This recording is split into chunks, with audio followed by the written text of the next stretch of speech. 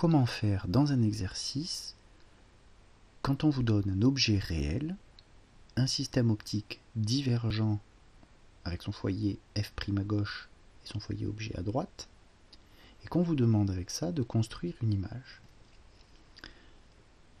On va appeler l'image A'B', on va le noter sur la chaîne d'images. On cherche donc A'B' à travers le système centré. Tout rayon incident parallèle à l'axe optique émerge en passant par f'.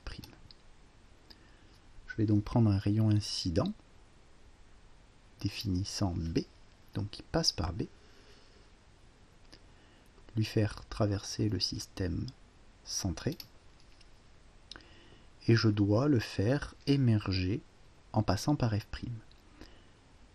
f' étant à gauche, c'est impossible que le rayon sorte et passe physiquement par f'.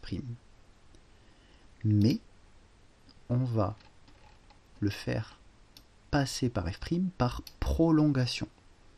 C'est-à-dire que le rayon sort comme ça,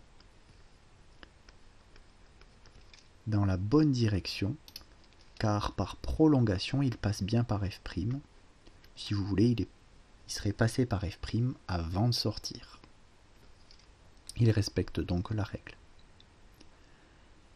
Tout rayon incident qui passe par f émergera parallèle à l'axe optique.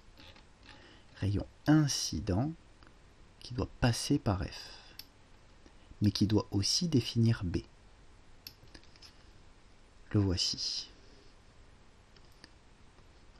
Il n'est pas physiquement passé par F, c'est impossible car le rayon incident est toujours avant le système, alors que le foyer objet, lui, est après le système. Ce n'est pas compatible. Mais par prolongation du rayon incident, on peut imaginer qu'il passe par F. Ce rayon, puisqu'il passe par F, on sait qu'il émerge parallèlement à l'axe optique. J'ai donc mes deux rayons émergents à partir desquels je peux définir mon image B'. Je ne peux pas le faire par croisement physique des rayons. Cela va donc être une image virtuelle obtenue par prolongation des rayons émergents. Je vais revenir prolonger le rayon ici un petit peu à gauche. Je vais prolonger de nouveau mon rayon émergent